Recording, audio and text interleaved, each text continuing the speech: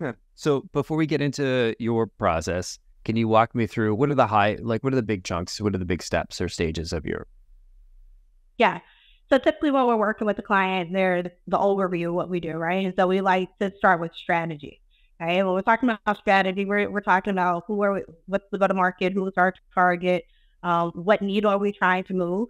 Um, sometimes it's a matter of shortening the sales cycle. Sometimes it's about increasing the dollar size. And obviously, those processes can be different. So we talk big picture with strategy.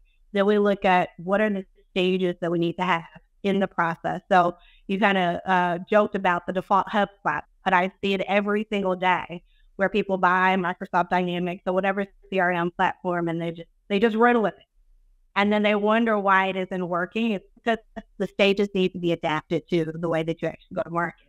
Um, and then we do uh, the steps within the process. And I'll tell you, Collin, this is where um, I would say 90% of sales teams fail is that they have the big stages, but they don't have the steps within the stages.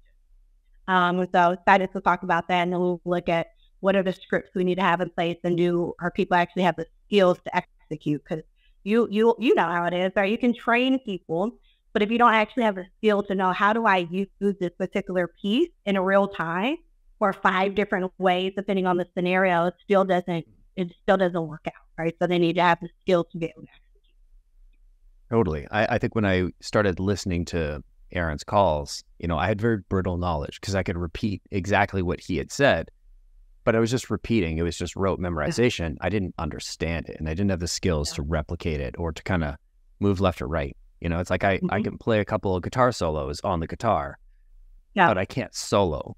You know, I could mm-hmm. copy somebody else's, I can learn it, but there's a very there's a very big difference between, you know, playing this particular solo and knowing how to solo and just make it sound your own. Mm-hmm. Absolutely, I love that analogy, right? Because I think I think that that's the thing is that I would I tell people we and we use the term scripts, but we really talk about framework. And so sometimes when I'm working with a team, they want to repeat it exactly the way that I'm saying it. I'm like, no, you need to understand the nuance as to why we're doing what we're doing. So that when you're in a certain scenario, you might say, okay, I need to shave this off a little bit, round this off a little bit for it to fit the context of the situation. And one of the things I'm pretty sure that you noticed as well, uh, post 2020, is that the the skills that people need need now are a, a bit different.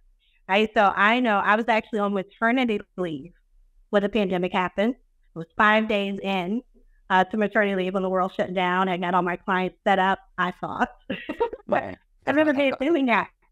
Right. And you realize people who were traditionally outside sales people didn't have the skills to now do inside sales or to sell virtually or to sell hybrid.